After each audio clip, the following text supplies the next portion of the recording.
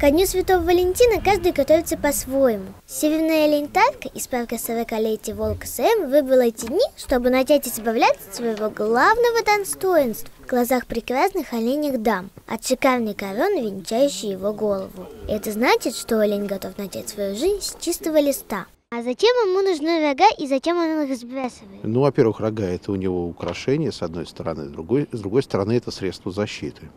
Вот. Нужны ему в определенный период, то есть брачный период, а потом, соответственно, он их сбрасывает. От своей короны северная олень избавляется ежегодно по весне. Так животные заканчивают очередной годовой цикл и начинают готовиться к новому сезону. В дикой природе рога им понадобятся в конце осени, начале зимы, для того, чтобы привлечь самок. Выигрывает самец с самым шикарным украшением на голове. За победу предстоит побороться. Рога – это не только своеобразный декор, но еще и мощное оружие, служащее для борьбы с соперниками.